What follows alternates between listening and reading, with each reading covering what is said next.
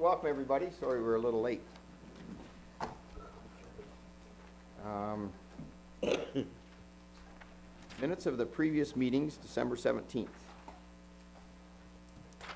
Moved by Deputy Mayor Fisk, second by Councilor Turton, that the minutes of December 17th, 2013 council meeting be approved as circulated. All in favor? Carried.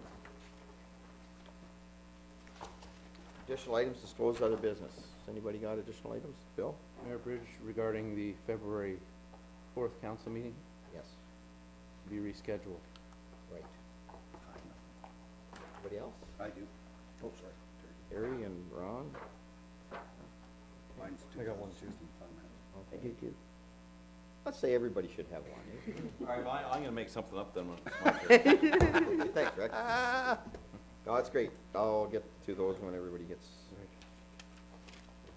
We have no public meeting. Find a resolution to move into.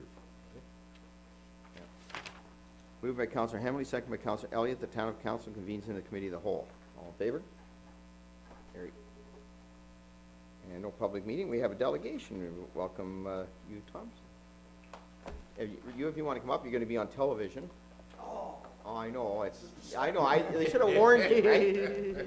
And, uh, I got down here, transportation needs for north, north part of, I'd say the north part of Wellington, not Wellington North, right? Right. Good, okay. Thanks for coming. Well, thank you for uh, giving me a chance to uh, address council. They tell you only got ten minutes though, Hugh? I'll try and talk quickly then. Rick took five of it back there, yeah. Um, In talking to different people, there's definitely a need in the uh, north here for transportation for the seniors and uh, um, also the handicapped, those who are in wheelchairs. Uh, The only transportation that is available as of right now is either through family uh, supplying that, and uh, maybe the family, if the uh, person is in a wheelchair, doesn't have a van that is capable of taking them there, or they can use the uh, ambulance transfer system. And unfortunately, it's very, very expensive. Uh, we have had people, for example, take it from, Palmerston down to London, and the cost ran at seven hundred dollars. And obviously, um, people can't afford that, especially if they have, uh, doctor appointments down there. Uh, upon, uh, investigation, and again, I, I'm just basically getting started on this. Uh, I talked to, uh, Terry, um, just before Christmas, and I jumped on this because you have a budget coming up and it may affect that. Um, North Perth, uh, has transportation for the seniors and uh, handicapped through the VON. Um, now, the funding for the uh, program comes through the Southwest LHINs, uh, gas tax dollars, and user fees. So the uh, figures for that, according to uh, Christine Vallis out of uh, Owen Sound, is with the uh, VON involvement. Costs, uh, or LHINs puts in sixty-eight thousand dollars. There's a fundraising aspect of eight thousand dollars. And the user fees, well, there was no figure exactly for that. They really cannot, according to her, you really cannot count on the gas tax dollars as they don't know how much it'll be and, uh, if they'll get any at all. That's more or less at the will of, the provincial government. User fees, uh, in North Perth, if you're within six Ks of the uh, municipal office, that's the center point that they use, it's four dollars one way. So if someone had to go to a doctor's appointment within Listowel, it'd be four dollars and then four dollars return, which is a reasonable cost, I think. If you're out of the uh, area but still in North Perth, out of that six uh, click area, then it's eight dollars one way. So if someone lived in Gowanstown, for uh, example, then it may cost them eight dollars to go to a doctor's appointment and eight dollars to get back. If you have long, uh, long-range travel, for example, if you're going from, uh, Listowel to, uh, London, then they charge eighty cents a kilometer plus fifteen dollars an hour standby while you're in visiting the doctor, um, which is a lot cheaper than the seven hundred dollars to get down there. They also have uh, volunteers who uh, drive vans for them, and they charge thirty-seven cents a kilometer to use the, uh, the vans that they have available to transfer people. Now, this isn't just for the handicapped either. This is for senior citizens. Um, so senior citizens, if they need it, they can contact the VON and, uh, uh, get the transportation necessary. Uh, the wheel, uh, for the wheelchair access vehicle, uh, the dri- drivers are actually paid employees. They don't pay them a heck of a lot, I think she said eleven dollars and they're only paid while they're doing the transportation, so if they have some transportation between nine and eleven, they would get paid for the two hours, and then they don't have something until two o'clock, then they go back on the time she- sheet at two dollars, so it's almost volunteer, really. It's not a big money-making thing. This service can be accessed by, uh, people in Palmerston, but if there's a need in North Perth, uh, at that specific time, then the person in Palmerston would get bumped. So you really can't, uh, uh, depend upon it. Um, if I have an appointment in London and I contact VON and then at the last minute they cancel it, well, that really is a fuffle right there because now I have to change the appointment and it just doesn't work out. Um, in some municipalities, uh, the service is provided through, uh, service clubs. So I'm giving you some of the uh, background on this. For example, it- there's an area right around, uh, uh, Kitchener, and I don't have the exact area, but they are around there. I think it's the Kiwanis Club that run it. And I was talking to a lady last night who said that, uh, someone had to go in to, uh, get dialysis in Kitchener, and it cost them four dollars. It's a volunteer driver, and they would stay there while the person had uh, dialysis, which is, again, you might as well say they're volunteers. Um, It's nice to see.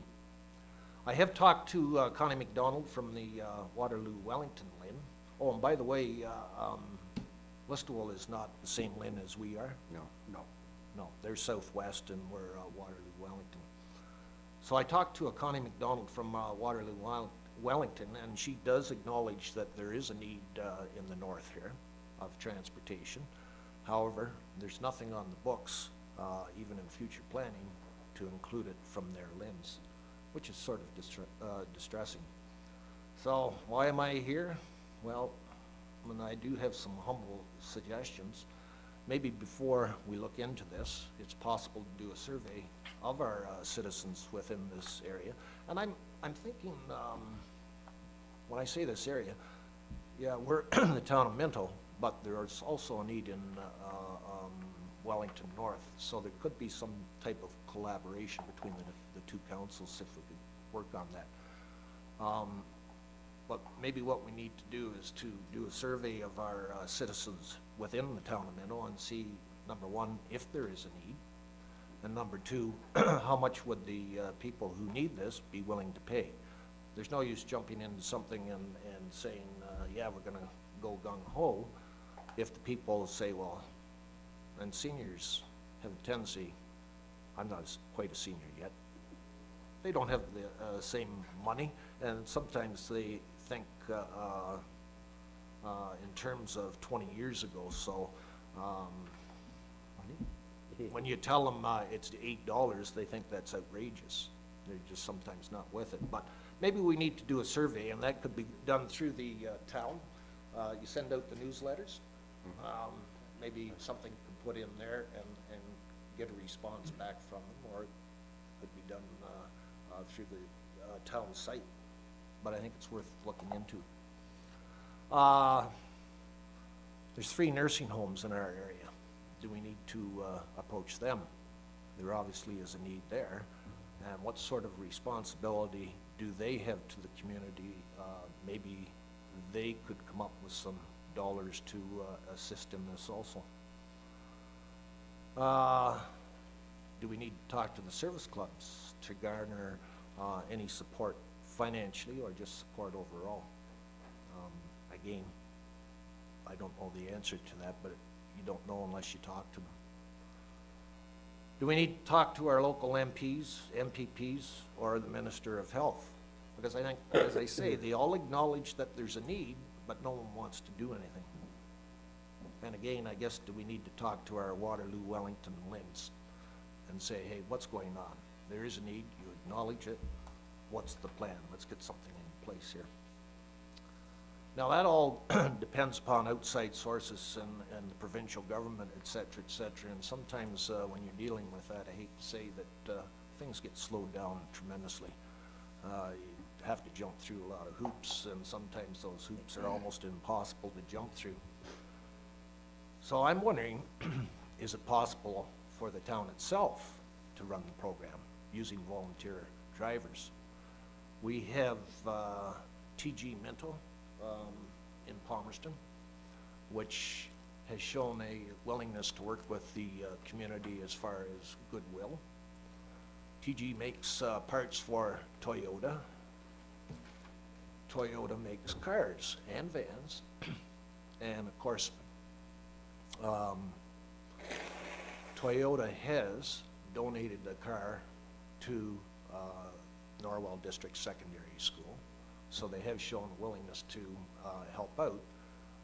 What could we do if we talk to them uh, and see if they don't want to donate a van or vans?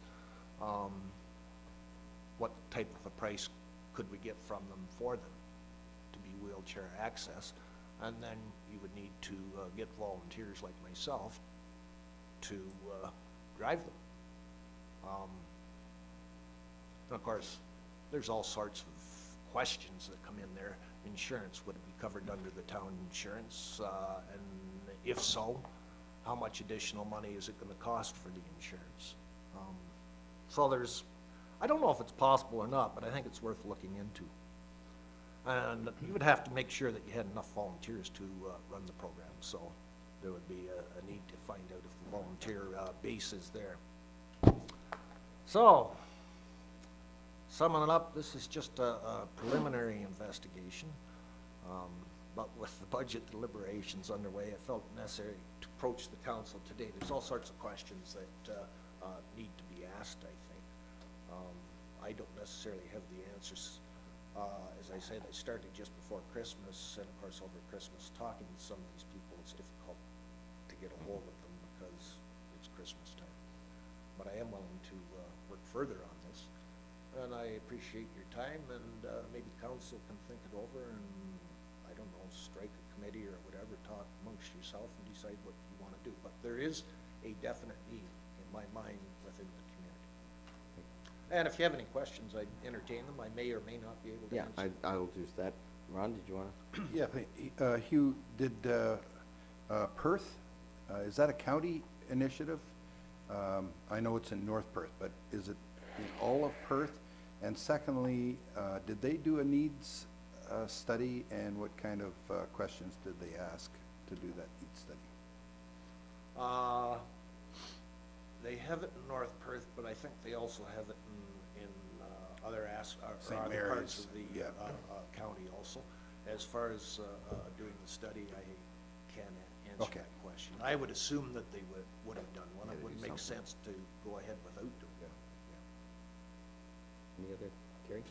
Well, I'd- I'd like to thank you, Hugh, for coming and bringing this report. We've talked about transportation a couple of years ago and actually put some money aside that we never did anything with, but um, in talking with you earlier, I think you made mention that there are six or eight of these types of vans in Waterloo, Wellington, LHIN. I don't know if they're wheelchair access, Okay. but They're all in the city anyway, that was the yes, point. yeah. And When that- we, sorry, And I think that we need to stress that, that we have needs up here too, probably more so than the city, because we don't have public transportation here, so our people have to rely on this type of situation, or these types of vans in order to get to their appointments in, in the city, so, um, there's no doubt there's, there's a need, and the surveys would be helpful, but I, you know, almost every survey on what, what these, what we need in the rural municipalities, right near the top is transportation. And that's, that's well known, and um, even more so for th- this group of people. Rick, and then, Um, but to where you're going, Hugh, is, who was the gentleman that came in here? Was that a few years ago? Saugeen Yeah. Mobility. we put some money aside for that project? We did, but he, he never came back to us, so did he? But it was so cost prohibitive. I think uh, Mount Forest or uh, Wellington North looked at that uh, deal there. Uh, They decided not to go with it. Southgate uh, did sign up with this guy, Smart. And they've had, uh, and uh, they're not really happy. no.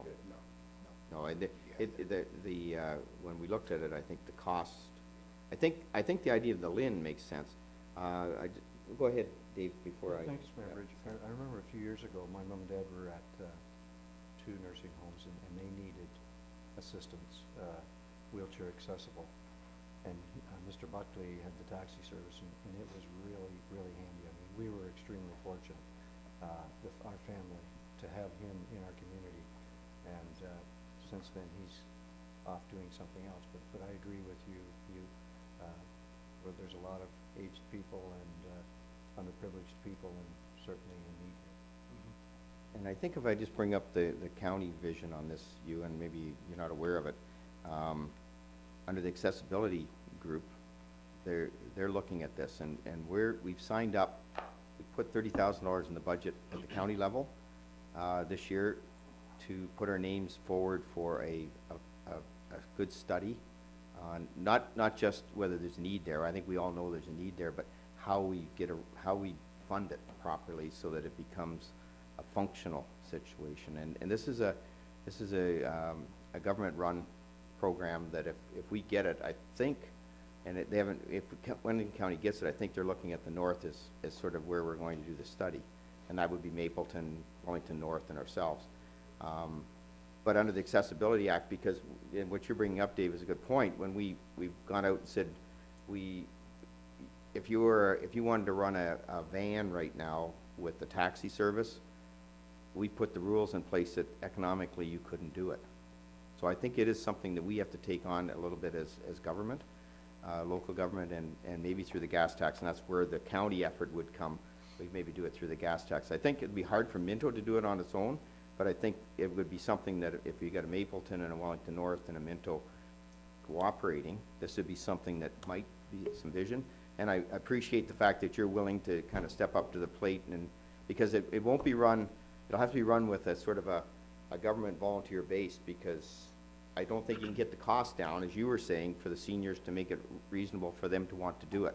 Because under the, under the accessibility thing with the van, they can't charge more than a regular taxi drive. Well, you and I both know that if, if you're picking somebody up and you got in the wheelchair, you gotta go get them, get them into the thing, get them over.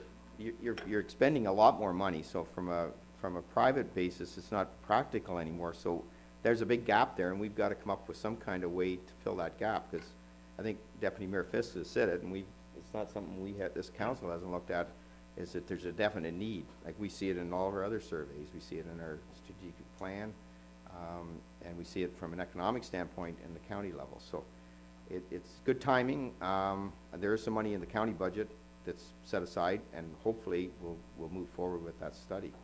And, and, but the study isn't just a study where there's a need. Study is how you, how you produce the effective, uh, model to make it happen, right?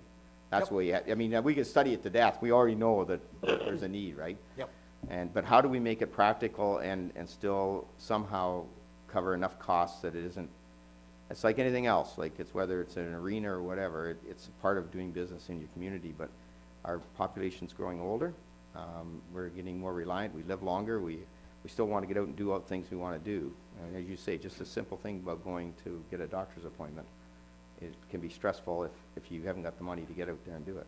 Well, and with the, uh, with the hospital changes, uh, we used to have the physio in uh, Yep. Palmerston Hospital, now they have to go over to Yep. uh, Mount Forest. Yep. Well, if you're a senior citizen, how do you get over How do there? you get there? Yeah, You know, yeah, for that- sure. That presents a problem. yeah. Anyways, but I'm glad, glad for you to come, and, and I, it's something we'll keep a, a handle on and try to get as much, and if we have to give you a call to, once we get a little further down the road. Yep, sorry. Just through you, George, um, you, I know down at work, Toyota has given us a number of cars Mhm. for uh, fire prevention inspectors. And I'm gonna probably say probably fifteen or twenty over the years. Um, I could maybe talk to some TG Minto and talk to Cambridge Toyota. See if they're willing to do something like that. I think, I think that's a great idea, and I think, but then again, you have to have somebody to run it, and we have to get the program in place, but I don't think we can do it. I'd, I'd be, I'd be surprised if we could do it as Minto alone. The difficulty with going to other tiers of government, Huey, is, uh, and you know and I know, that uh, it takes more time. Well, yeah, it'd be So ten it's- years before you ever got it. Well, maybe not, yeah. It could be. The the wheels of uh, justice run slow and grind uh, to a halt sometimes, so it, that's why it's nice that we, if we could try and do it locally, and you're probably correct, if we share with other communities, stay within our local level, our local tier, maybe that would be the best route to go. At least we could maybe get something up and running in a, If we wanted to go through Some the uh, sort of, uh, provincial government, maybe we should be buying helicopters and, and Yeah. supply that service.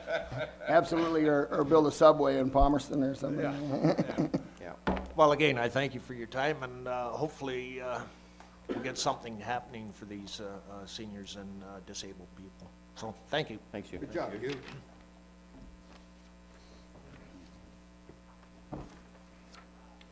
Public question periods. Anybody got a question?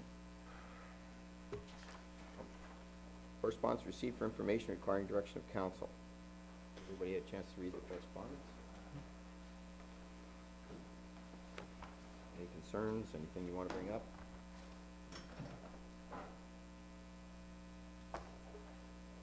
Motion to accept the correspondence? Counselor Faulkner, Counselor Elliott, all in favor?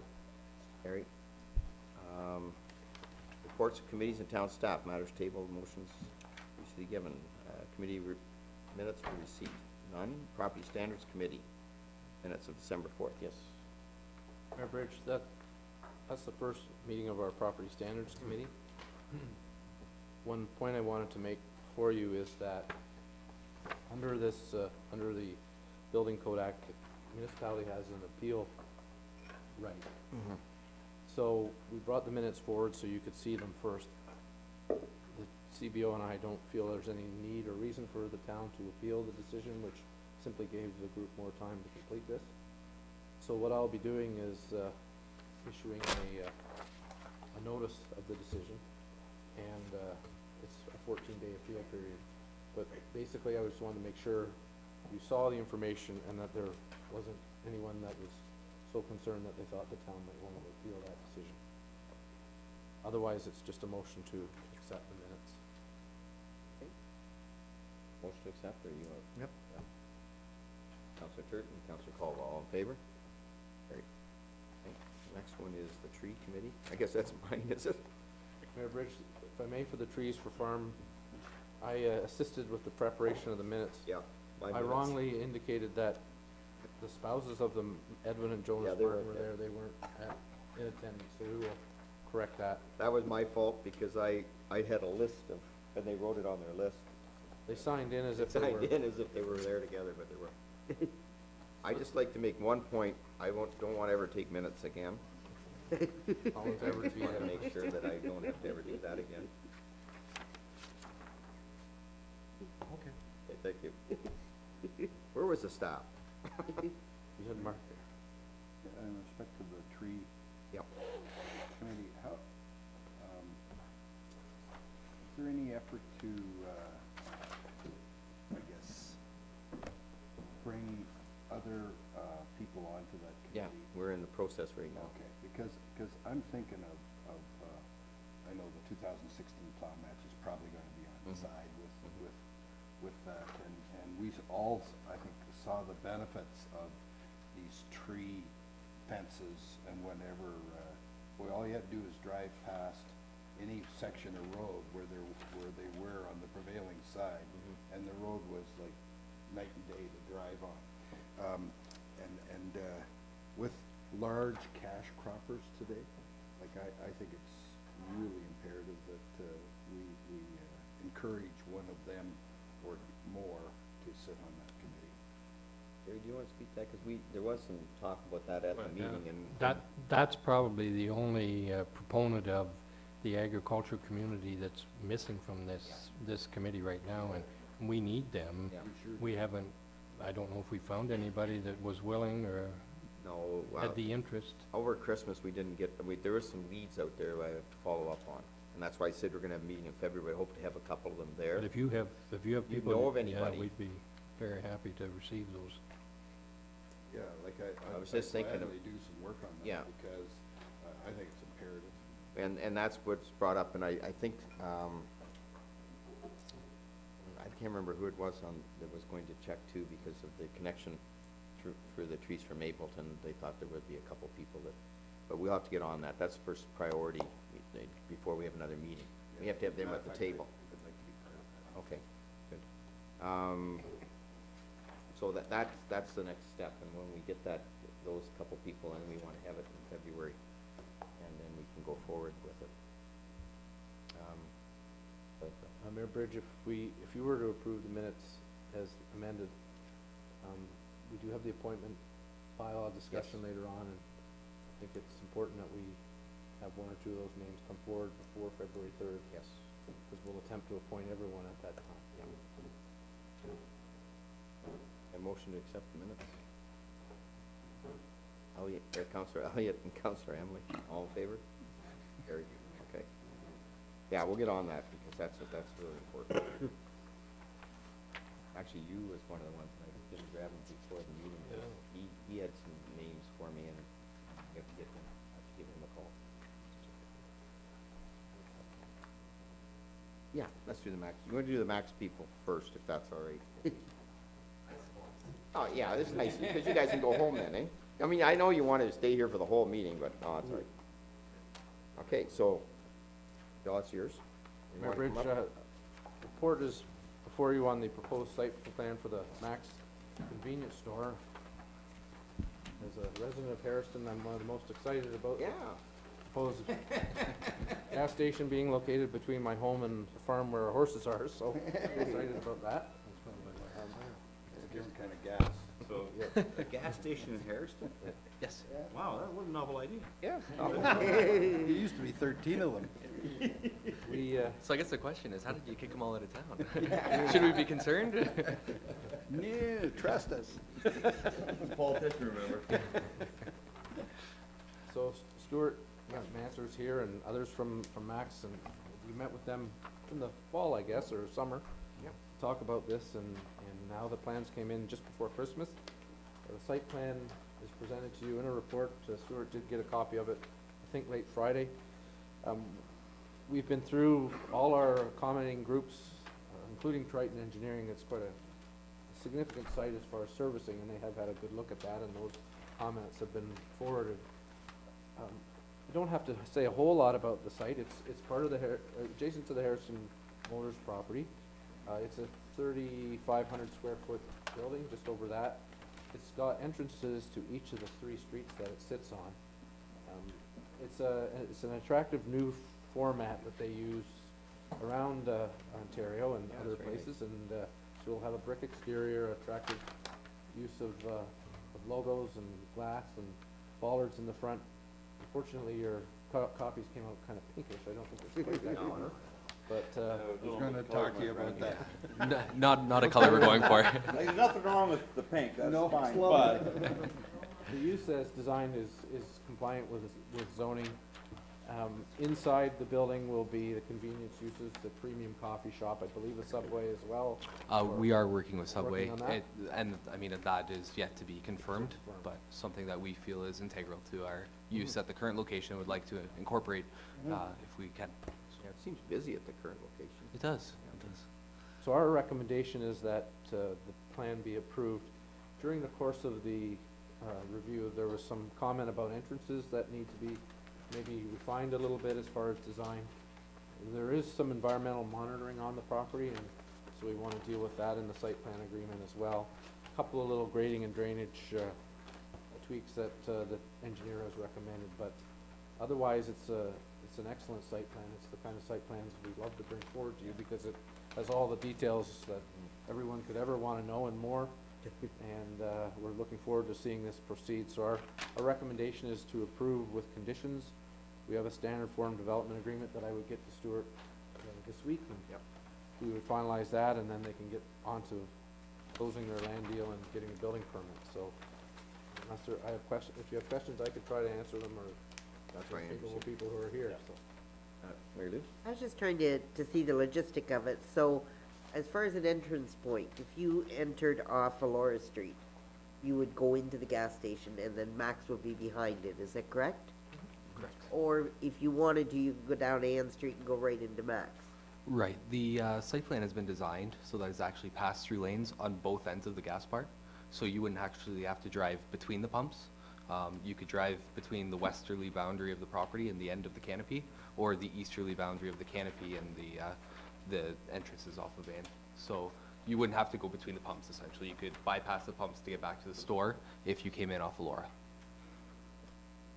I thought that, that's good. Okay, and this will butt right up to the Harriston Motors property, uh, as far as, like, where their cars are currently? Uh, In terms of where they have the cars sitting exactly today, I can't answer that. If you can uh, picture the retaining wall that's there on the edge of the property, it just divides. Okay. Yeah, As you look towards the back of the property, Right. kind of where the holding, the vehicle holding uh, s- part, portion is actually on uh, our, or the property we're looking to purchase. Um, Okay. They're well aware of that. We've been in communication with them and are uh, allowing them to have that there and helping them as long as we possibly can before we need to build. Um, But that retaining wall is essentially the edge of the site plan here. Okay. So there will be a setback from their property for both the building and the canopy. It won't be right abutting their property, there'll be some drive lane and some landscaping abutting their property. Great, thank you. Okay, Any questions? Great. Well laid out, very well Yes. done. Thanks. Very well. But to thank our Yeah, architect, Matt. Um, I just do want to say the town has been very helpful through this process, uh, particularly Mr. White um, and all of his staff and the other staff of the council. Thank you very much for receiving us. Um, We're, sorry. Sorry, Stuart, uh, Mayor Stuart. uh, what, what's the, have you got a plan for the old property? Uh, The old property, we still have lease term remaining on. Um, We have not come to a conclusion as to exactly the close opening dates for those two properties. Uh, We will be on the hook, as it were, for that location as long as the lease remains, um, and have not exactly decided how we'd like to address that. This is something that we come into contact with quite often as we're repositioning stores, expanding them in different markets. So oftentimes we'll find a use that uh, is applicable under the current zoning, um, and the town would approve, or we just carry the lease ourselves to its end, depending on the time that's left.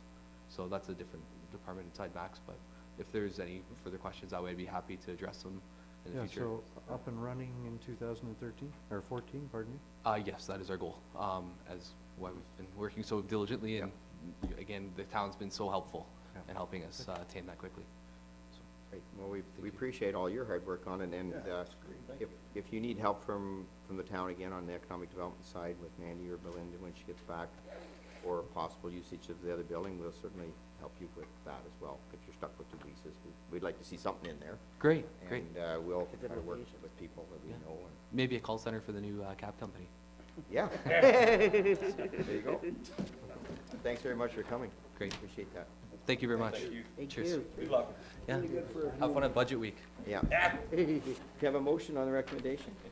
Yeah. Moved by Ta- Deputy Mayor Fisk, second by Councilor Colwell. All in favor? You're all, you're in the good. There you go, off you go. Thanks a lot. Oh, yeah, I'm sure. Terry, I even tear- I just threw it over there until it was, He's up again. now you can come here. Now you got, you got a bit of a challenge. You got a, maybe an empty spot to fill. Yeah. So I'm going to stand over here so I'm out of the way and my back's not to anyone. Hmm.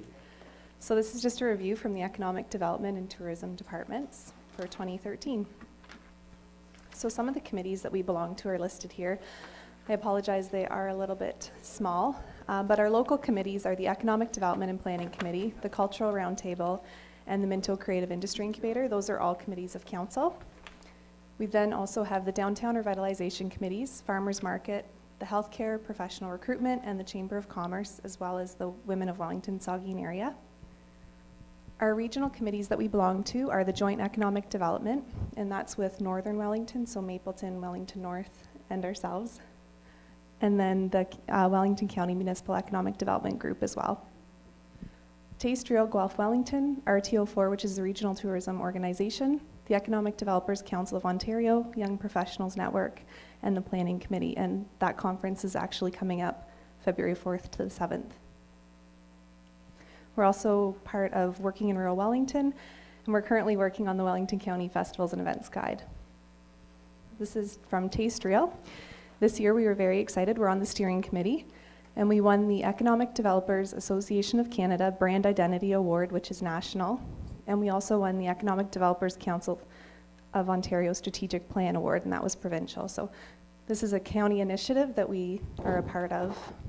And this is some pictures from the Spring Rural Romp. This is an adorable picture of my little niece Paisley and Addison and my nephew Connor. And they had a fantastic time this year at the Spring Rural Romp. They can't wait to come back again this year, May 25th. And this picture here is just some of our steering committee members. So you might recognize a few faces there. Mm-hmm. Think Minto First campaign is a campaign done by the Minto Chamber of Commerce, and we partner with them on that.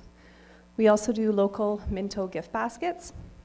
And uh, this year, what we did was we approached various businesses to get products to put into gift baskets to give away at various events, such as the Lions Golf Tournament. Um, some of the products inside were Generation's Choice pasta, which is delicious, um, cedarwood honey, maple syrup, um, scapes from Greenbush Heritage Organic Pickled Scapes. They were very good as well. And then these are some pictures from the Minto Farmers Market. This gentleman here is our summer student, Matt Grant. He was the one that was uh, working day to day with the Minto Farmers Markets. And then there's a funny picture of Gord and I. We're, I didn't recognize Gord. yeah, incognito. Nobody's know. No. Communities. Communities in Blooms, we are very proud of this. We were awarded the five bloom status in the Circle of Excellence non-competitive division, and that was nationally. We were also awarded the Butchart Gardens Land Reclamation Award for the Palmerston Lions Heritage Park, and that was also national. And these are pictures from the council dedication ceremony when we presented everyone who's involved with a certificate. So Gord, myself, and the mayor had a lot of fun this year showing off our community to the judges, and uh, we've planned to participate in it again this year, not being evaluated. Don't worry, Bill. so, tourism development, we're going to continue to work on garden packages. We did this last year with Taste Real. We maintain the kiosk at the Harriston Library, and we're looking to expand that into the incubator space. Last year, we had the Harriston Heritage Days, Mayor, Mayor's Charity Golf Tournament, Harriston Ladies Night, and Palmerston Merchants Christmas Open House. Light up the town, savor the flavors. Palmerston and Harriston Minto Fairs. Those are just some of the events that we helped participate in. There's a great picture of Bill and Terry here for the Mayor's Charity Golf Tournament. This picture here is from the Harriston Heritage Days, Light Up the Town, and that's Wesley Bates there with the uh, silent auction from the Minto Arts Council. The business retention and expansion is almost done. We have three days left for the surveys. And at the end of that, it will be the largest and most complex survey and ever undertaken in the province of Ontario. So we're very excited about that. We will have completed 50 surveys in total, just in Minto alone. So that's a huge number of surveys that have been completed, and we can't thank the business community enough for taking their time to fill out those and meet with us. The, the sectors that we focused on were healthcare, creative economy, agriculture, manufacturing, and downtown. And uh, the Minto Creative Industry Incubator is going well underway. We're still looking towards our uh, job applications. The deadline is this Friday at 12 noon. The Pitch It Business Plan competition is going to be starting again in February. And uh, the Women of Wellington Saugeen Area Networking and Education events start up again in February as well. You have to excuse my cough there. so planning and infrastructure, this is one of my favorite slides. Through our community improvement plan, our facade and signage program, we provided $10,608 in grants for projects totaling over $34,570, which means we leveraged $23,962. So for every dollar we gave out, we, the business has spent $2.25, which is phenomenal. And I just realized I should have put a before picture of the Brown Insurance building, but that's the after picture, and it just looks fantastic. Community revitalization. We work with streetscapes, uh, public spaces and public art. And uh, the events and promotions that we help the businesses with in our downtown cores and throughout town of Minto are the Harriston Heritage Days sidewalk sales, the Palmerston Fair photo contest, and the annual Town of Minto photo contest. The reason we have these photo contests are to build our inventory of photos so we can use them in our community attractions guide and the festivals and events guides. The um, My Neighbor campaign, this is something that we did last year, and we're going to start to roll it out this year. So you'll see these hanging up throughout our community and uh, in the newspapers. I really like Terry and Wendy Cormack there from the Palmerston Home Hardware. My neighbor hangs out with tools, and they've approved these slogans. So, and then uh, there's a picture of Grant and Amy from Grant Service Center, and it says, "My neighbor caught me off balance" with a picture of a tire. So they're cute little slogans that'll hopefully remind people to shop local. Some of them weren't approved though, eh? Some, some we had to change. We didn't bother. Yeah. Really interesting ones. So business recruitment, again, the Pitch It Business Plan Competition is going to be starting in February. We are changing the format a little bit this year so that not only do the winners get prizes, but everyone who participates will get more prizes to incentivize more people to participate. And uh, we manage and coordinate the downtown revitalization process for all three downtowns. And this is going to be an example of what the Clifford mural will look like on the side of Larry Grummett Insurance some community re- revitalization uh, groups that we work with. So the healthcare services, some of you are aware, we sit on the doctor recruitment committee, sorry, the healthcare recruitment committee with a focus on physicians, trying to recruit them to our area. We work with the Career Education Council of, and Ontario Youth Apprenticeship Program to really try and match employee requirements with youth skills. And we've been working with the local immigration partnership through the Wellington County Municipal Economic Development Group. We've been trying to partner existing businesses that already hire immigrants and um, internationally trained professionals. So we're just trying to profile those. The Treasures of Minto Cultural Roundtable. We did the Culture Bus this year and the Ghosts of Minto Past. We're looking at having another Ghost of Minto Past launch just to kind of go over some of the findings that we had. The movie series and some completed projects are the Incubator Research Project, Creative Worker Videos, and the Rural Creative Economies Summit. The Community Gardens meeting is tomorrow night at 6.30 here, and uh, the Treasures of Minto website is just right there. So this picture here is a picture of Caitlin Hall from Reroot Organic and Hope Robertson from Wightman Telecom. Those were two of the videos that were featured.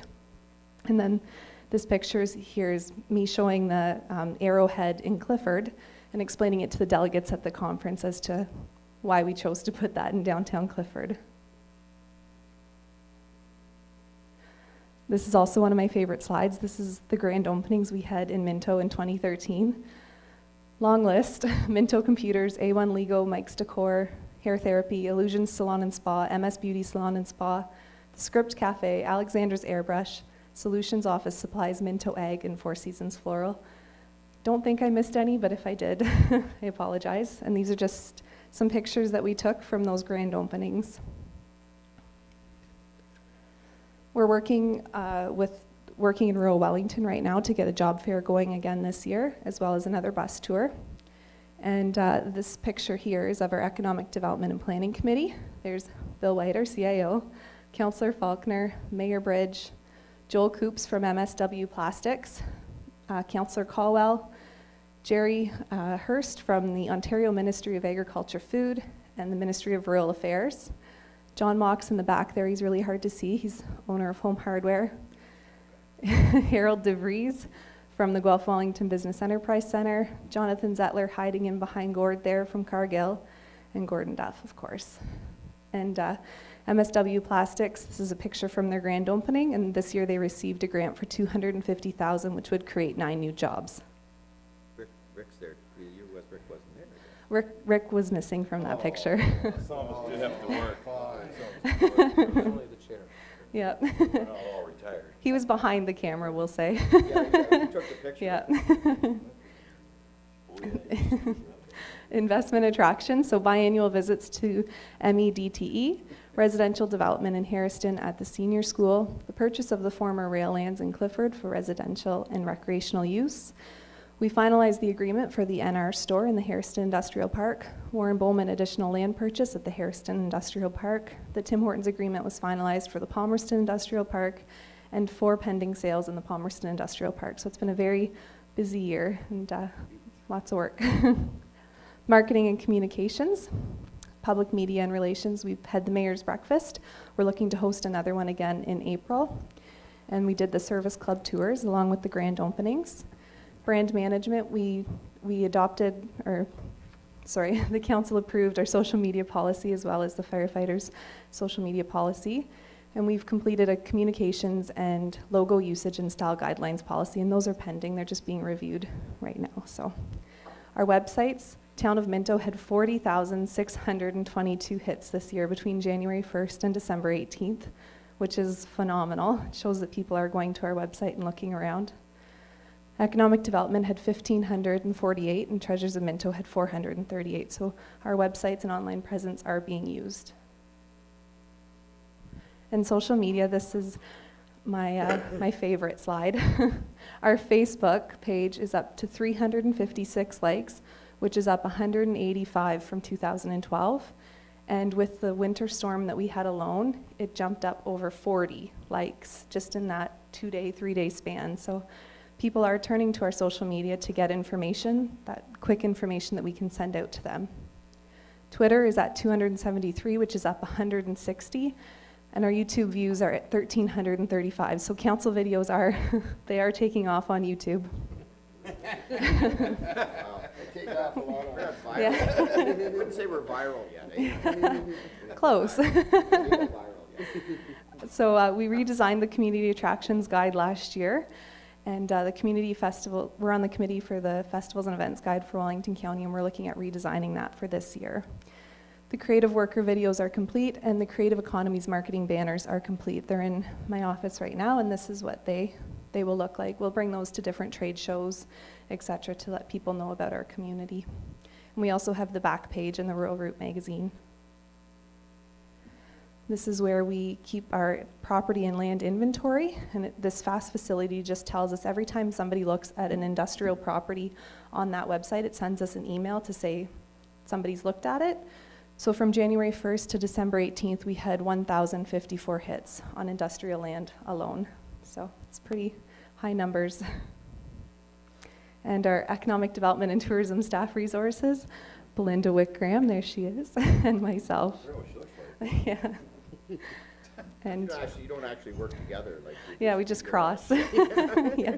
Shift, uh, maternity shifts. Any questions? Great job. Great job. Okay. Thank you. Thank you.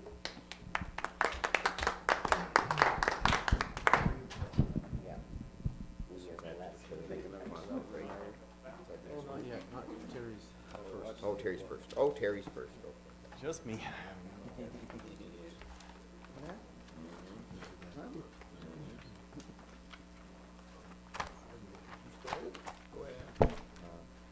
All right, Go just to wrap up, uh, kind of December of 2013, and just do an overall 2013 kind of what uh, what we did. Uh, December of last year, we issued six permits uh, worth 188,000. So, being the kind of December we had, it's not uh, not too too surprising. Not too many people want to start. Um, overall, on the residential side for 2013, um, we issued 19 permits, um, which equates to 23 new units. Um, and those 23 units, uh, uh, construction value is about five and a quarter million. Um, just to do some stats, it works out to about 231,000 a unit or 272 and a half thousand for a single-family detached dwelling. Uh, non-residential side of things was, was pretty active last year. Uh, we issued 18 uh, non-res permits. Um, some of the big projects uh, that we did uh, were the Harriston Fire Hall, uh, renos on Tim Hortons. Uh, we got a new repair shop on uh, County Road 5. Uh, Gray's Auction are putting up an addition. Um, Leslie's did one. Homestyle Flavors did one, as well as we've got the NRStor or Temporal Power under construction right now. Um, so of those 18 permits, that equated to about uh, 5.4 million worth of construction value. Um, in the agricultural end of things, uh, the value for those twenty-eight permits was about two point six million. Uh, we got two brand-new barns up and, uh, running now. Uh, we issued permits for sixteen sheds and uh, a bunch of additions onto barns and miscellaneous stuff, so that's kind of what we were most active at last year. So, any questions? Yes?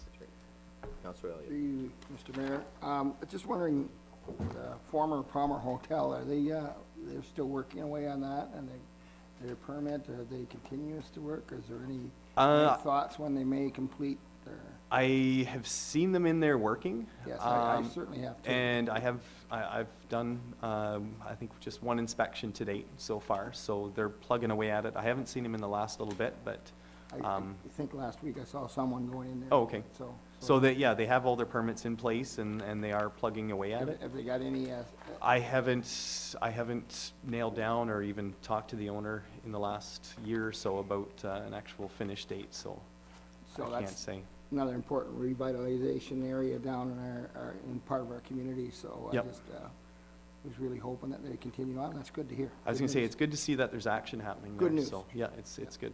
Thank you. Thank you, Member Richard. What was the name that you added to the NRStor? Uh, temporal power, Can you spell it? T E M P O R A L. Okay. So it sounds, thank you. Yep. Through you, Mayor Bridge, I guess basically the main difference between 2012 and 2013 would be the OPP building at Teviotdale as far as dollar value? That was a big one. Uh, that one was worth, I believe, around six million, um, as well as we had Minto Ag. Um, so that was another two million, or a little under two million there. So we're, yeah, we're basically with those two permits, we're right back to the same numbers as we are sitting today. Yes, and like you're looking at 2011, it's about 15.5. Yep. This past year was about 15.5, but the anomaly, if you want to call it that, was 2012 at 22.5. and That was huge, basically yeah. Those Um, two made the difference. On the, the graph that I have uh, in there, it actually ha- has a note about the 10-year averages. Um, For construction value, uh, this past year, we're still sitting slightly under a million more than what our normal 10-year average construction value is. So um, basically, our 10-year average is running about 14 and a half million, and we issued about 15 and a half million this year. So we're still looking, still looking good. Above the average. Yep. Any other questions for Terry? Nope. Great, thank you. Good job, Terry. Uh, motion to accept the, uh, Counselor Faulkner, Counselor Hamley, all in favor? Carried. Okay. What's up next, Bill? Also Roma, I'm on the right page now. Yep. Okay, you're taking that?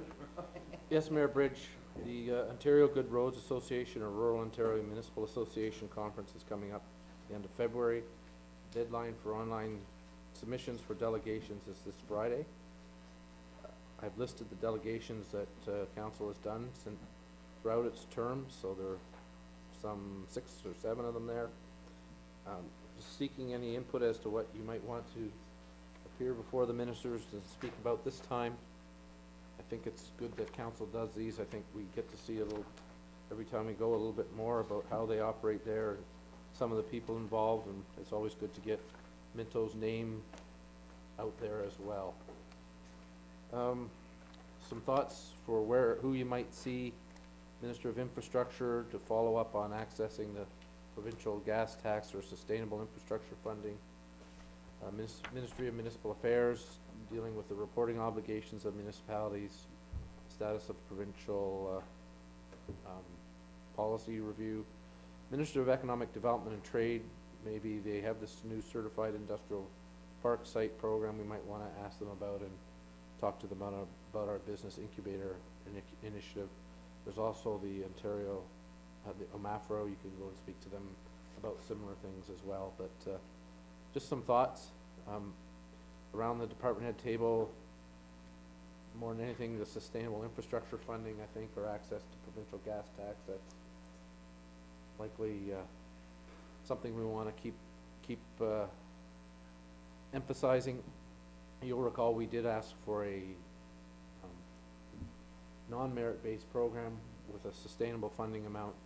Turns out they did a merit-based program for, for this year, and so far, luckily, we're still in the game for a potential grant. But over the long term, I think we really need to see something that's not competitive based, but based on need or assessment or something like that. Right.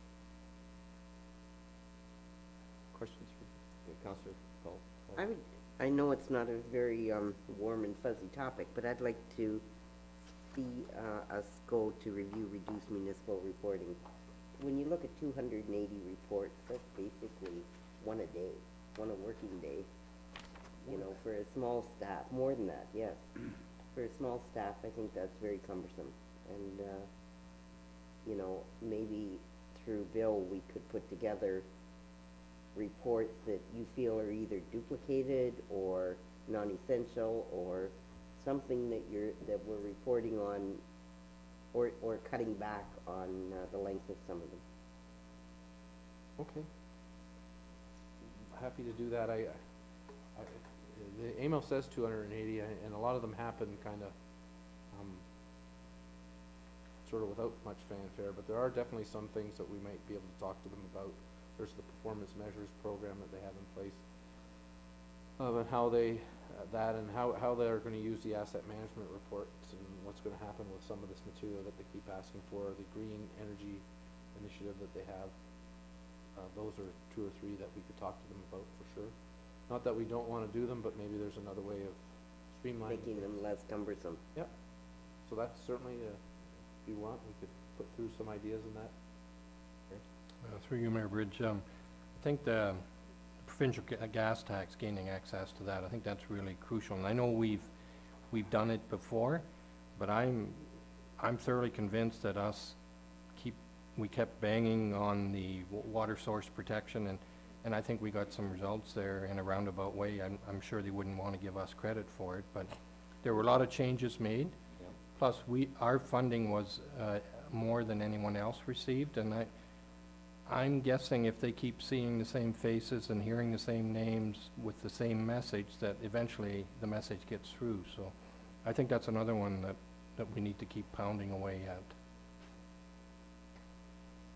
I, I was noticing the downtown incentives, and I think that's something we have to continue to do too. Uh, We don't seem to get any, a lot of, uh, help from provincial government for, uh, moving forward and having uh, landlords move forward and improve their, their buildings and make it a lot nicer. And we, we, we seem to be powerless moving forward with that.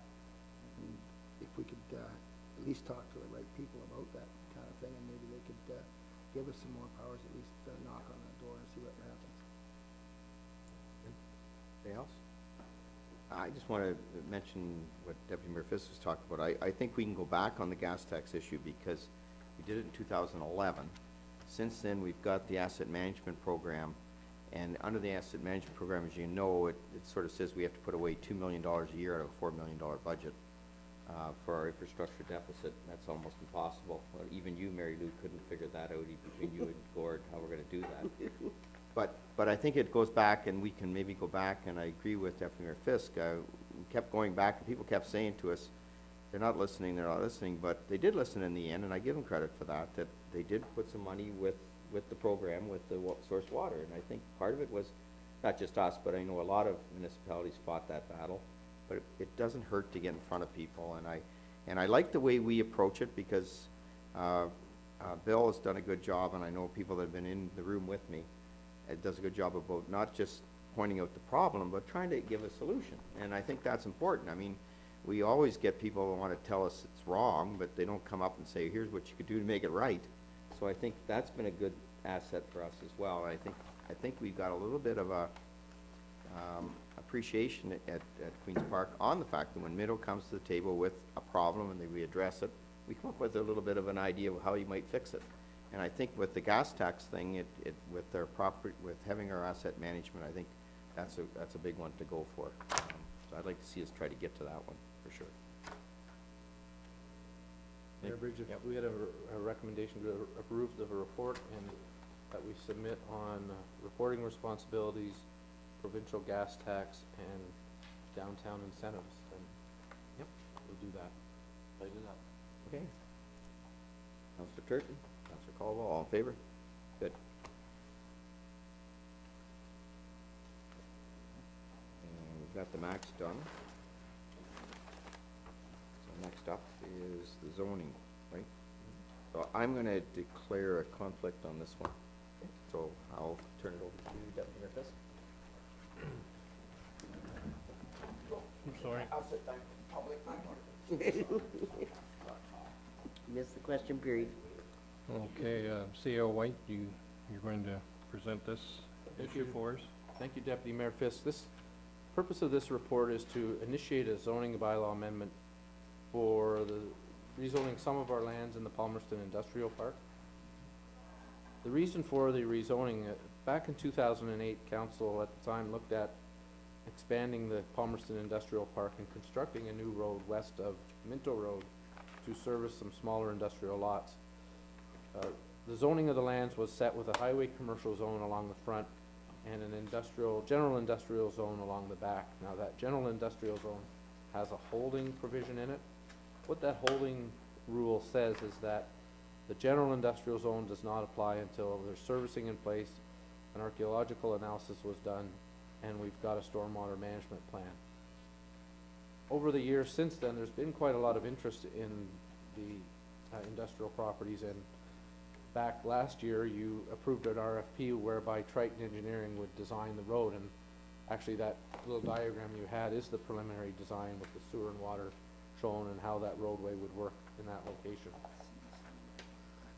The issue came forward about, well, if we're going to have uh, a roadway there, where should it be located? And at one point, it was at the back of the three lots where the future Tim Hortons is shown. So if we'd have put the road at that location, then you would have seen the, uh, uh, the, the Tim Hortons property, for example, having frontage on three new, three public streets. Uh, we looked at that and we talked to the county, and it was felt from a, a department head perspective that we could be more efficient with our road construction if it was located one lot further north. And the county consented to that with one single joint entrance on that part five. So the three lots that front on Wellington Road twenty-three will have one single entrance to, uh, the county road. Uh, the Tim Hortons will also have an access to Minto Road. And then the industrial commercial lots in behind will all front on the cul-de-sac as shown there. The issue that's created is that the zone boundary reflected somewhat of an old configuration.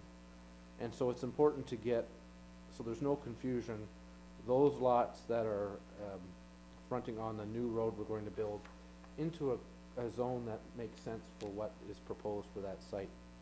Um, what we're suggesting is a mixed industrial commercial zone that kind of allows for general industrial uses as well as some of the commercial uses that are allowed in the front.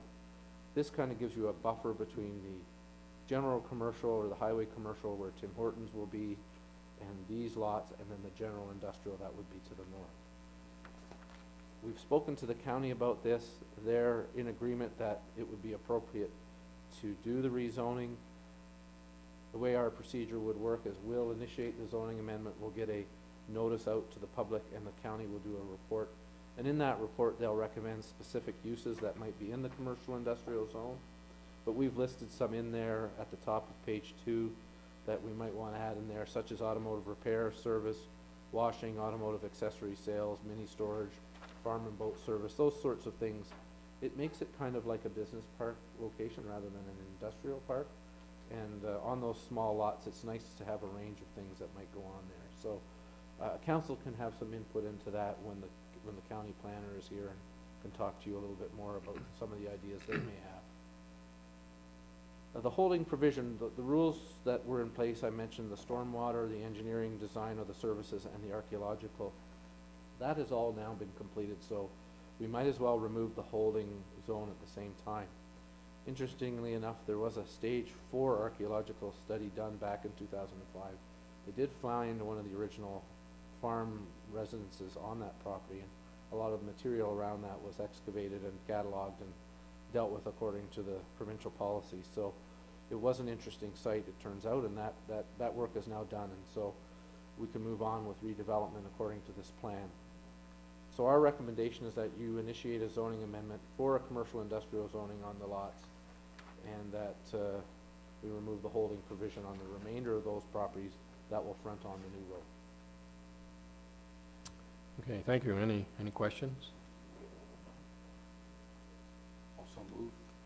Moved by Counselor Faulkner, second by Counselor Colwell to receive the recommendation. Any discussion required? All in favor? Opposed? It's carried. 嗯。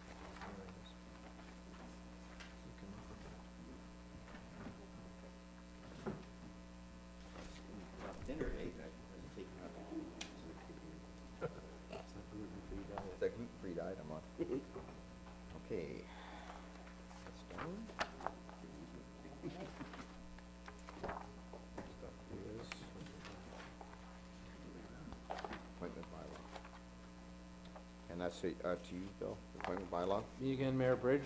I'll try and be brief. You've probably heard enough from me today. Yeah.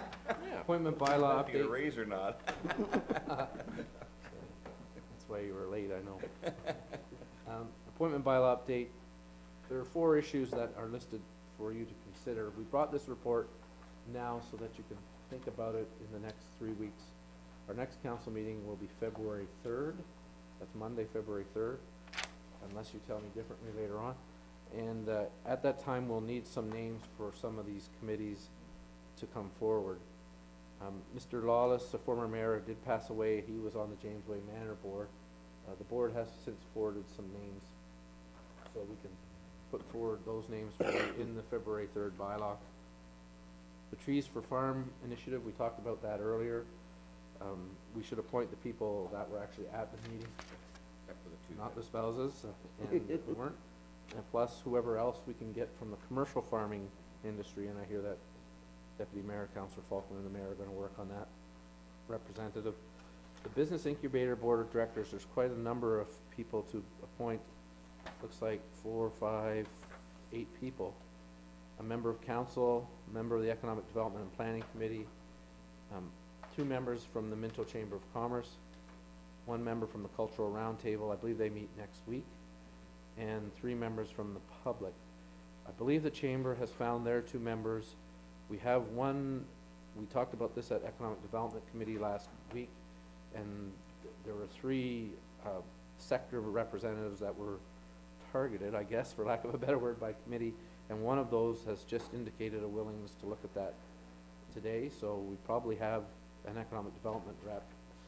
We will need three at-large people and one member of council sometime between now and February third to come forward. Property Standards Committee, uh, Mr. Pritchard did pass away in, in twenty thirteen, and he was the sixth member of the committee. They did meet last year and as five, and it worked quite well. I'm not convinced you need another member on that committee, but if you wish to, you'd need to find a name to replace Mr. Pritchard. Also, uh, reappointing yourself as Committee of Adjustment should happen annually under the legislation, so. A few other things that will come off as far as miscellaneous. The Early Learning Center is wound down, we don't require that any further. And the Chair of the Parks and Recreation will be coming forward with some names. We have an illness in there and uh, a term that's coming up, and I think they've dealt with that, their membership, so we need to formalize that next meeting.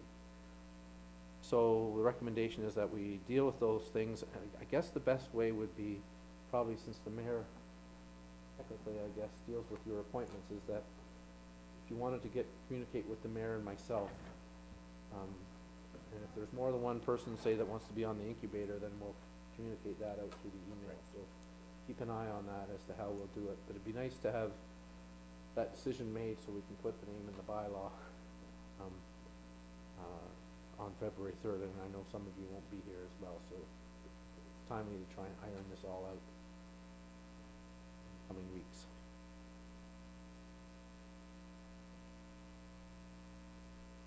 Recommendation to receive the report and proceed.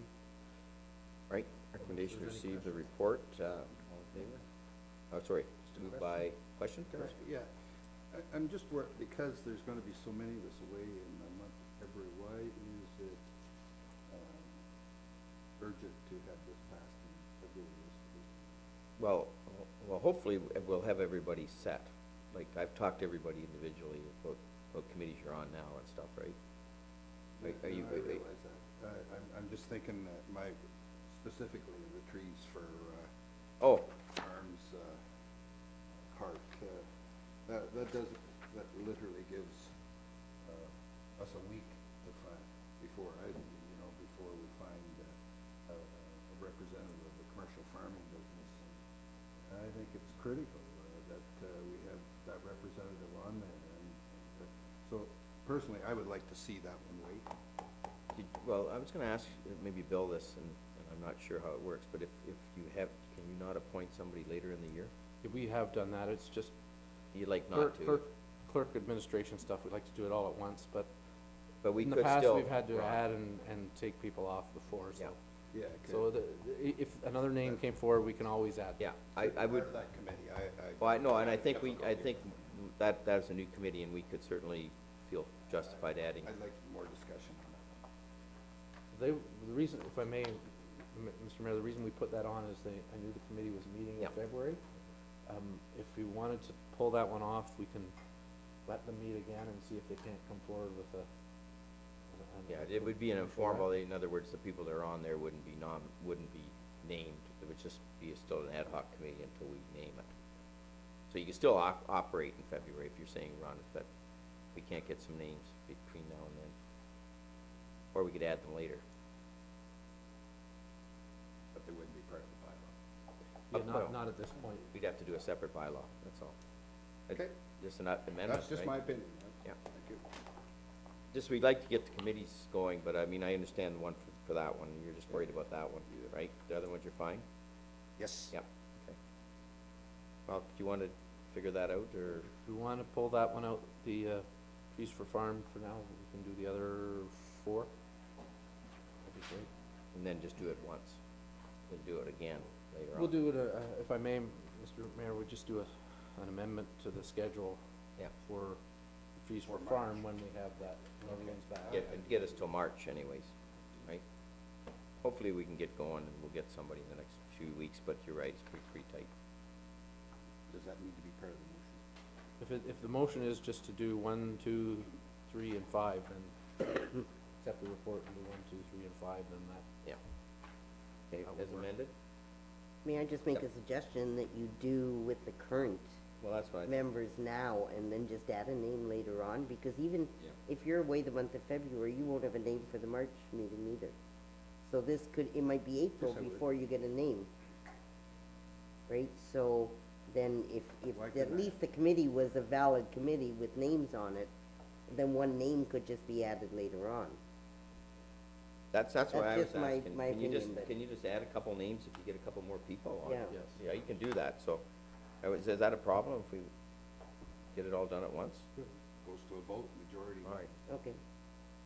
Well, you know, I just, I leave, uh, the decision in the hands of the experts, of my people for the, especially the incubator, and I think we've got a good bunch of people around here running, they're not gonna, get someone on that committee that, uh, probably not gonna do a very good job for you, so. I think it's more the trees No, for I- farms. I'm- It's just the trees for farms, that's the Yeah, I only know, one. that's what I mean, like, I have my I think reasons. there's, there's enough people here that we could probably get a good name for you, or, or not, but you just wanna kinda look at. Hmm? All right, well, we'll do, we have, we have one motion on the floor to take one, three, four, and five. One, two, three, and five, yeah. One, one, uh, sorry, one, three, four, and five. Seconder for that motion? You made the motion, Oh, I'll okay. second. Second, Councilor Hamel, all in favor of that motion? Opposed? Okay, so we leave, it. so go back to the original motion, which is recommendation to do all, all five. Can we add in there that, that we will still be looking, if we can't get, we can add to any of those committees? Okay, I would make that motion. motion that, uh, the recommendation plus the, on below, we can add to Yep. a committee at a later date? Yep. Okay. I'll second. Second by Councilor Turton, all in favor of that one? Oh, okay, gotcha. Passed, okay. Ice storm bill, Mayor Bridge, we, weren't necessarily gonna report to you on the ice storm, but things are evolving quickly provincially. I guess whenever there's an emergency in Palm, or in, uh, Toronto, then it's a disaster all of a sudden, so, um, I know they were impacted quite significantly, and, uh, this storm for Minto wasn't as bad as the April ice storm. We had a, quite a bit longer power outage and quite a bit more trees down in April. We did apply for ODRAP funding, and I have attached the minister's letter denying that from back, which you received back in November. Um, Interesting to read the article about Toronto putting together the damage from the ice storm and the flood that they had. Um, when I was participating in a conference call with some provincial people and the Wellington people, it seems like the minister will consider the cumulative impact of disasters. So we were lucky enough to have two ice storms in twenty thirteen. Uh, We, um, should apply for the ODRAP funding, uh, to help us out with those. The f- the first amount, uh, we applied for a hundred and two thousand. That, one of the things we didn't do when we applied is add the cost to try and make it look worse than it was. But we still continue to incur costs throughout the summer, and there are still costs out there for, uh, trees that are still laying down in, in, on road allowances and out in, in, on properties that we have to get to. And now there are even more trees down. Uh, we believe that our damages could approach, you know, quite a bit more. Um, hundred and fifty, two hundred thousand or more by the time we're through that. When you couple that in with last year's winter, um, it's one of the few years will be, there's a potential of looking at some serious budget issues at year end, so. We believe we're, we have a valid, uh, case for getting some help, and we have a resolution that we would bring forward for you, um, today, that we need to forward to the province today if you adopt it. And basically stating that we would, uh, like them to reconsider on the basis that, of the cumulative impact of the two ice storms. Uh, Just in general, in terms of public works response and fire department response, uh, I think it was very well done. The county took a role uh, early on. We had lots of warning that this was coming, so we set up some communication channels with the county. We set up some internal communication channels here with the staff, and uh, during the time when power was out, I was able to communicate with the council fairly, uh, fairly well. Uh, we set it up so that after twenty-four hours, if we didn't have any relief from the power, we were gonna be opening warming centers and, and accommodating people, and uh, turned out it was, you know, afternoon when Clifford and, and Palmerston came back online, and somewhere late in the evening in, uh, for Harriston, so, uh, relative to Center Wellington, we've had, um, warming centers open through the holidays. Some of our rural people didn't get holiday, uh, power back till, uh, after Christmas. Uh, And it was a challenging time, but I, I think the fire department was very helpful, the, the public works guys had, having plowed snow all week, then had to move into cleanup mode for this. And, uh, all things considered, I think we came through it reasonably well. Uh, there are some costs though, and I think we need to apply for those, for, for those, some help, and if help is forthcoming, we certainly wouldn't wanna get lost just because we didn't pass the right resolution, so. Questions? Uh, I just, I just wanna make a comment on, on, uh, Linda Jeffrey's refusal noted, saying that it's three percent of Minto's, um, taxation revenue, so therefore it wasn't acceptable, but if we passed on a three percent increase just for the ice storm to our taxpayers, plus, and, you know, another increase that was necessary because of other issues, where a three percent increase is quite a bit to our taxpayers on top of any other increase. So it, it may not seem like a lot to her that it's only three percent of our tax revenue, but to our constituents, I think it is. And and so what, what's her forte, like, what, what, what business was she in before she was appointed to this position? That's true. Can answer that one. You can answer I that think one? she's a teacher. She was a teacher? No, I'm just guessing. I don't, don't quote me. Well, no, I'm I think just, she I'm just was. curious of what, what makes her an banker, expert or on might have been a finance. Banker, yeah. Do we, does anybody know? Your staff. Okay, her staff, so she is staff. Anyways, I did, uh, if I may, Mayor Bridge, I did ask that question, Yep. what is the right threshold, and they really Don't have don't one. have an answer. It's not three percent, it's not five percent, it's, they take into account all kinds of factors. It's- It's quite interesting, I think, I, Bill, I think you did the math, or was it Gord, I can't remember, one of you had a little bit of math, uh, that what the city of Toronto's asking Mm. for to their budget, is- it's just around three percent. Right. So it'll be interesting to see whether three percent in Toronto is different than three percent in Minto. Minto. You know what I mean? They can their fiscal- Uh, And ano- another issue that might be just as interesting is, I believe, uh, you spoke to the minister, and she said that tr- damage caused by trees isn't covered by the disaster relief fund. Exactly. Well, we're going to see that there was a lot of damage caused by trees that fell down because of the ice storm, not just here, but in Toronto, et cetera. So if, if, if she's uh, got money for Toronto because of tree damage, then Minto should be getting um, funds for t- tree damage here as It's well. interesting from her, it's a good point, Deputy Mayor Fisk, it, it's interesting from her comments in the letter, she doesn't bring that into it, but when she had the verbal comment with me on the phone, the uh, trees, and since then, because I said, my point was, well, why did we send in for it if, if trees didn't, weren't covered? And basically, I think, Bill, you've looked at it, and trees are covered if they're uh, a safety hazard or across the roads or whatever, they are covered, so she had misinformation when she called me that day. But when she sent the letter, that didn't, didn't come out in her letter, so obviously she got corrected. Because why would we apply if we didn't, if it didn't qualify? And, and we, you know, we looked through that and we went through it with their ministry representatives and they would have told us, don't bother sending in tree things if it doesn't qualify. But ours should have qualified under that, you're right. Just one other point, um, I'm wondering when the next tax bills go out in, in perhaps in your message, we could let the citizens know that they're responsible for the first twenty-four hours of looking after their care or heating their home or whatever the situation may be, because I'm not sure that everybody understands that.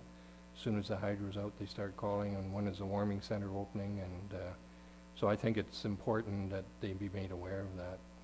That, that's a good point, and, and the reason the first twenty-four hours, it actually supposed to be seventy-two, I think, is the, is the, is the qual, we, we've done twenty-four in, in, in, uh, Minto and Wellington. And the reason is, most times if you're in a situation like we had with the ice storm, you don't want seniors trying to get to a warming center walking through an ice field. I mean, we'd have more breaks and bones and whatever, so, but I, I do think that is a message that has to get out there better. And we, we have it on our social media, but for our older people, they don't maybe have the social media, so tax bill's a good idea, we can maybe put a message, or that's something maybe, uh, and we haven't used it recently, and I'll, I'll put, uh, Shannon on the spot, maybe when we do one of our council corners, we could talk a bit about that and just go over a little bit about the ice storm and what went on and whatever. And I think that might be something we could work on, so if the staff could make up a report that would work for that, we could maybe do that. I think that would be- Yeah, Mayor Bridge, I think a- as you drive around the, the township too of Minto, around through the township, you see a, a lot of, uh, trees still in the ditches and all over the place. And I know, uh, cleaning up trees in town and branches and stuff, to go out into the township, it's much more labor intensive to get these, uh, trees down and cleaned up. So, I mean, I think our CEO was right, um, we maybe underestimated the cost. Well, we'll I, give I it, think it's a good idea to go back at them the second time and. let's give it a whirl, and Yep. even if we get a bit of money, that will be better than nothing, right? Mhm. All right. Motion, Just received the report, we have a resolution that oh, that we're gonna send later? I can read later, Okay. or I can so read it receive now if you want. but- Receive the report for now. Counselor Elliott? Counselor Turton, all in favor? Carried. Okay, good. Oh, and then we have uh, Gord coming up. And what, I'll turn it over to uh, Ooh. Counselor Colwell. Okay, the financial department has four items on the agenda today. And the first item is tax collector and treasurer interim tax bylaw. Great, thank you, uh, Chair Colwell. Um, So this is uh, a report just on the bylaw that'll come up later in the meeting, uh, where we uh, give authorization to issue the interim tax bills. And as you know, we usually have an installment in late March and in late May, and it's based on 50% of the previous year's billings. There's the authority. Is there any questions or any discussion on that? Then the recommendation is that the council of the town of Minto receives the January second, two thousand and fourteen report from the treasurer and tax collector regarding the interim tax bylaw and consider passing bylaw 2014-01 in open session. I Someone make that motion, please. Mayor Bridge, seconded by Deputy Mayor Fisk. All in favor? And that's passed. And then our second item is section three fifty-seven applications, which is tax adjustments. Right, and uh, you may note there's a lot that are very similar and the amounts are small. Um, About ninety percent of the amounts involved here are with regard to the land purchase in Clifford. So basically, the town now owns it, we're not using it for a commercial purpose, so it's going from residential to exempt. And then there's one other change in use on a private property. And that's what those ones are. Um, Okay, and is there any questions or discussion? So the recommendation is that the council of the town of Minto receives a January two thousand fourteen report from the treasurer and tax collector regarding section three five seven applications, and that these applications be approved. May I have someone make that motion, please? Councillor Faulkner, seconded by Councillor Elliott, all in favor? Favor? Motion passed. And the third item is in regard to our temporary borrowing bylaw. Right, and uh, this is basically our overdraft protection, if you like. Um, It ties us over for non-capital purchases.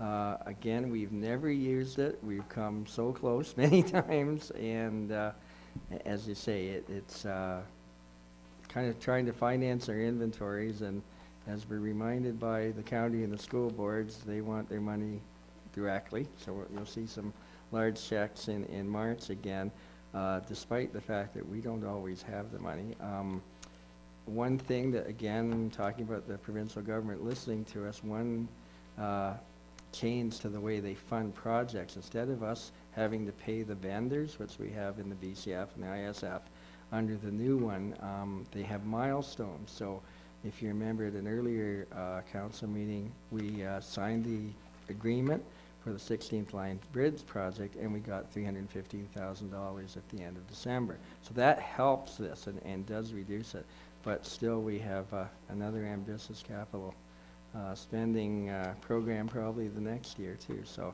um, as I say, you don't want to use it, but you need it in place, and the bank requires it every year too. Is there any questions or discussion? Okay, the recommendation is the council of the town of Minto receives the treasurer's and tax collector's report. No, excuse me, is that, should it be tax collector on this one as well? Yes, I believe Yes, so, yes. okay. He's, Tax collector's report dated January second, two thousand and fourteen, and considers passing bylaw twenty fourteen oh two in regular council session. All, uh, Councillor Turton, seconded please. Mayor Bridge, all in favor? And it's passed. And then the final item is our approval of accounts for, Okay, um, again, uh, some of our highlights are, uh, on the capital side, again, we had, uh, the uh, Minto Howick Road for hundred and thirty-eight thousand, another installment on Elora Street in Palmerston there. A bit more on the I and I in Palmerston. Uh, we did some work on our, we call it the SCADA system, and that's our, our computers that monitor our, our water wells, so we got a bit of, um, work done on that too and uh, basically some other regular routine items. Uh, Again, this time of year, recreation, we, uh, we spend a lot on, on hydro. That's our big expense these days too, and heat. So uh, those are the, the highlights, I guess, from that period. is there any questions? Okay, the recommendation is that council of the town of Minto receives the treasurer's report dated December eighteenth, two thousand thirteen, regarding approval of accounts and approves the town of Minto accounts by department for December two thousand and thirteen. Someone make that motion, please. Uh, Counselor Elliott, seconded by Counselor Hambley, all in favor? Thank you very much, Gord. Thanks very much. And I turn the chair back to Mayor Bridge. And we're back to other businesses, disclose additional items, and I believe we started with, uh, Bill, you gotta go first. Mayor Bridge, the February fourth council meeting uh, will not work in terms of uh, attendance and conflicts with courses, uh, conferences and things like that. So I'm asking if council would indulge a move to Monday, February third. Uh, the open portion would begin at three o'clock and the, uh, ca- meeting itself would begin at two thirty if there is a need for closed items. So just a motion to that effect, that it be rescheduled to the third. moved by So Councilor I'll make a motion. Seconder? I'll second. Second by Deputy Mayor Fisk, all in favor? Carried. Okay, next, and who else we have? Uh, Terry? I've actually got three items. I haven't had any for a couple of meetings. It's all right, It's Terry. time for me to catch up. Uh, the first one was a little, um, that was cute. card that we received in our package, and um, looking at it, um, there, it's from the Ombudsman of Ontario, and it's talking about recording all meetings opened and, or closed, and we don't, we don't record our closed meetings. I don't know if that's something that we should be looking at, or, If I may, the, uh, it's in, uh, that is the ombudsman's position. Uh, we do take minutes of the closed session. I would say that in terms of the municipal field, the jury is out on whether they really ought to be recorded in the closed session. So we don't record them, uh, in closed. And, uh, if you'd like, I can bring back information to you, but I would tell you that it's probably split. no, I- Some of the experts say don't record them. Um, We have the minutes, but. Yeah. Well, I just wonder, I mean, that's a recommendation, and they're the people that, I guess, if somebody has a, makes a fuss, that's, they, they're the ones, No, We have a closed meeting investigator, that's Norm Gamble, we haven't had, uh, uh, had to call, call him in in, in Minto, but, uh, um, the ombudsman does do it if you don't appoint your own, and, uh, I do have his, his report, but, uh, you can read it, but, that, that, that, that's one position. yeah. Well, I just thought it was interesting, and, uh, as a council, I think we want to be doing what we're supposed to be doing, and whether that was, we should be doing that or not. Uh, the, the next one is, um, I sent an email to Bill regarding the aerodor, door, drome, or whatever they call, Spoolster's Airport. Oh, yeah, yeah. And he was at a meeting, or Transport Canada sent him something that the highways, or the roadways in the area of the airport should be marked accordingly. So Bill sent on an email to Paul Johnson, I believe, at the county, and I was somewhat disappointed with his response. He didn't tell us whether it was necessary or not, he was worried about who would pay for it.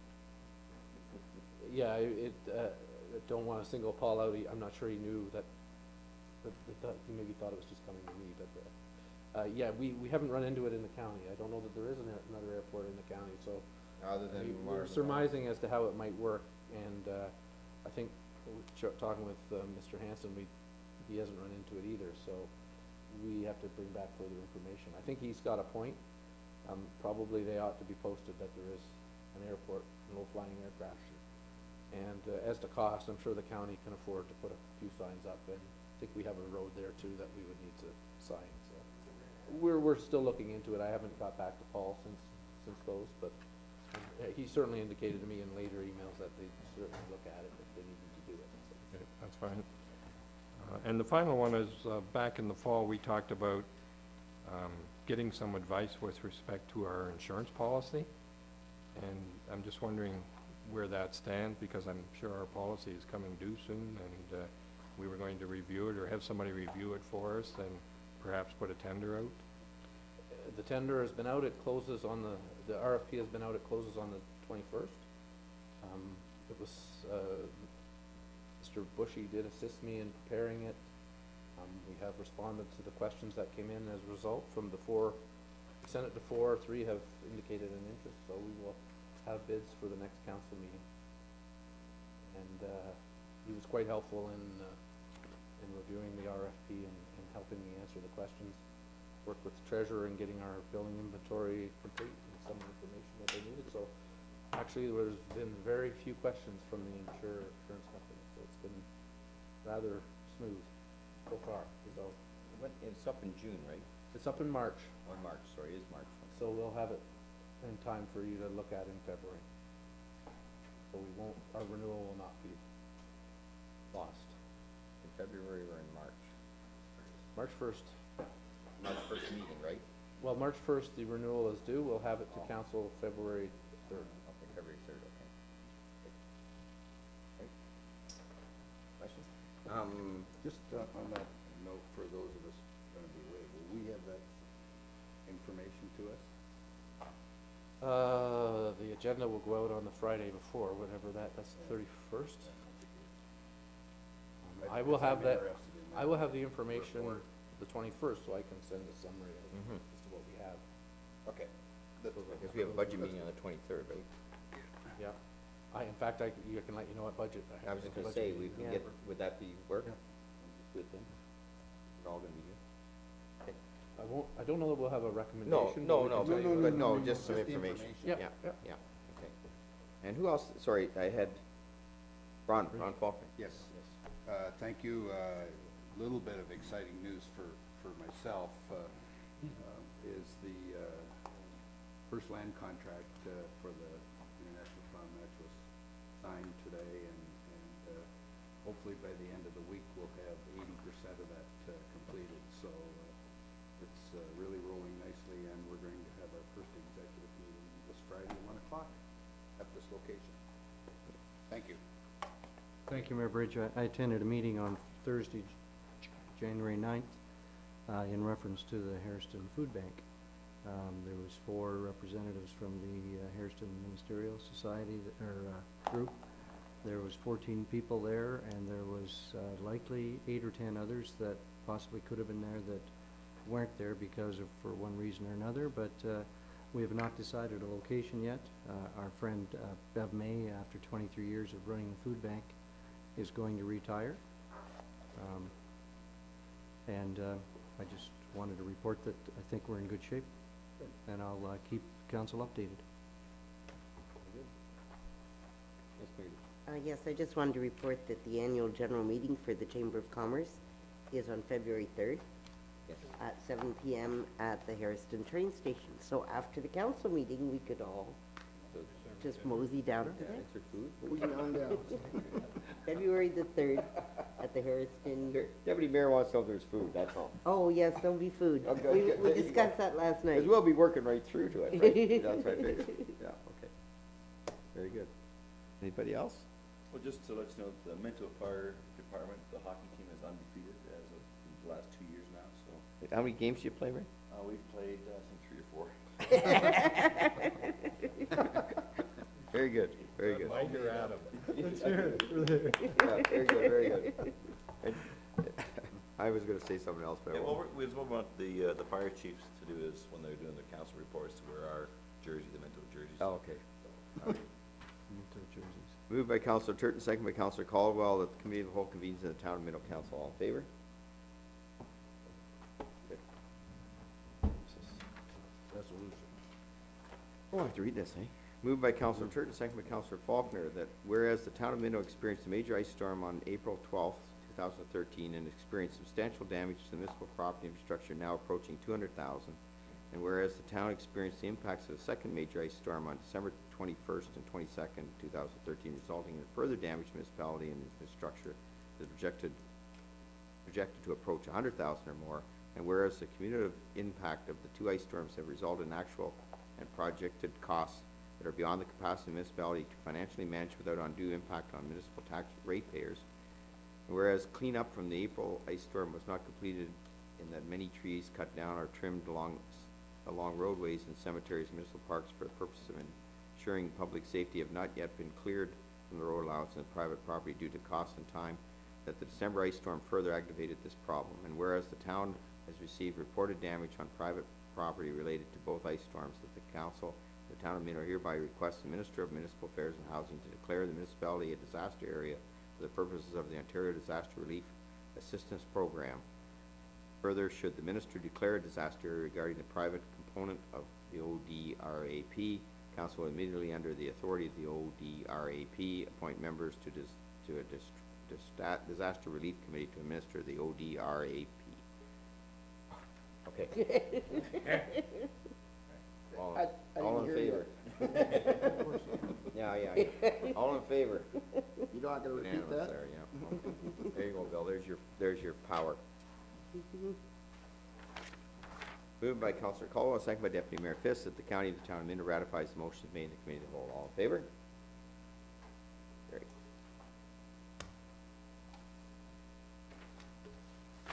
Moved by Councillor Colwell, second by Councillor Turton, that bylaw number 2014-01 being the bylaw to provide an interim tax levy to be introduced and read in first, second, third time and passed open council and seal the seal of the corporation. All in favor? Great. Moved by Councillor Elliott, second by Councillor Faulkner, the bylaw number 2014-2 being the bylaw to authorize a temporary borrowing of monies be introduced, read first, second, third time and passed open council and seal the seal of the corporation. All in favor?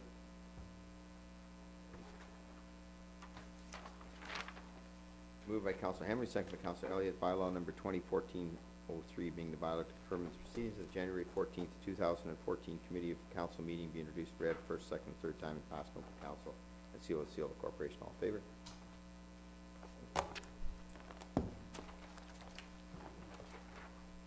Moved by Deputy Mayor Fisk, second by Councilor Faulkner, that the Council of Town of Minto adjourn to meet again at the call of the mayor. Okay, everybody for that? Did you have something? No, I just. Oh,